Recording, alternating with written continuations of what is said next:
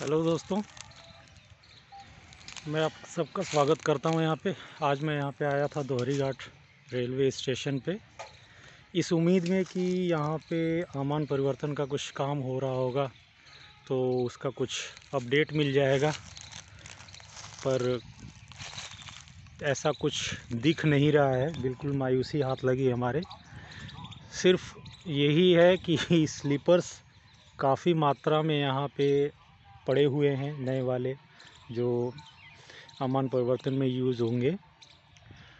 आप देख सकते हैं, ये पूरा का पूरा जो एरिया है, ये दोहरी घाट रेलवे स्टेशन का है। ये फ़िलहाल मैं प्लेटफॉर्म नंबर एक पे खड़ा था और जो कि नैरो गेज लाइन की मीटर गेज लाइन की, जो हाइट होती है प्लेटफार्म की, बस उसी साइज़ का है। काफ़ी जंगल टाइप का एरिया है। चारों तरफ़ देखें तो पेड़ ही पेड़ नज़र आ रहे हैं। बीच बीच में कुछ जगहों पे घर दिख रहे हैं। एक बार जब इसका अमन परिवर्तन हो जाएगा तो उसके बाद हो सकता है कि यहाँ पे काफ़ी स्ट्रक्चर्स तैयार हों यहाँ का डेवलपमेंट हो। आ, ये सामने देखें ये जो लाइन चली जा रही है आगे की तरफ़ एकदम बिल्कुल वहाँ पे यहाँ से एक पेड़ के पीछे में है, दिखाई नहीं दे रहा है। जब यहाँ पे स्टीम इंजन चलता था तो वहाँ पे एक टंकी है। पानी की टंकी जहाँ पे उसमें पानी इंजन में भरा जाता था स्टीम के लिए। तो ये ट्रैक वहाँ तक गया था। एंड देन आगे फिर वहाँ पे द एंड है क्योंकि ये टर्मिनल प्लेटफॉर्म है ट्रैक है यहाँ पे है, इसके आगे का नहीं कुछ है। यहाँ पे दो लाइन होती थी, एक मेन लाइन थी, एक लूप लाइन थी।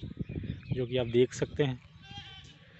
और यहाँ पे आइए देखते हैं थोड़ा सा आगे। ये देखें, एक छोटा सा शेड यहाँ पे था लोगों के बैठने के लिए, क्योंकि यहाँ पे दिन में सिर्फ़ दो मरतबा ट्रेनें आती जाती थी मीटर गौज मीटर गौज की, एक सुबह में, एक शाम में। और जो यहाँ पे जो मेन स्ट्रक्चर था बिल्डिंग का वो तो गिरा दिया गया है, आगे देखते हैं उसका क्या होता है। सिर्फ़ यहाँ पे गौज कर अमान परिवर्तन से संबंधित सिर्फ़ और सिर्फ़ यहाँ पे स्लीपर्स पड़े हैं और कुछ नहीं, और कोई काम होता नहीं दिख रहा है। देखें दोस्तों, सिर्फ़ ये स्लीपर्स हैं यहाँ पे काफ़ी तादाद में। इसके अलावा कुछ भी नहीं है। तो आए तो थे यही सोच के कि काफ़ी काम होता दिखेगा तो उसका अपडेट ले लेंगे।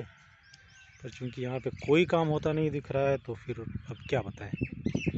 बस जानकारी के लिए इतना बता दें कि यहाँ पे जब अमान परिवर्तन यहाँ का होगा तो यहाँ पे तीन लाइन हो जाएगी। एक मेन लाइन दो लूप लाइन रहेंगी। जो कि अभी तक एक प्रपोज़ल के हिसाब से ये बता रहा हूँ।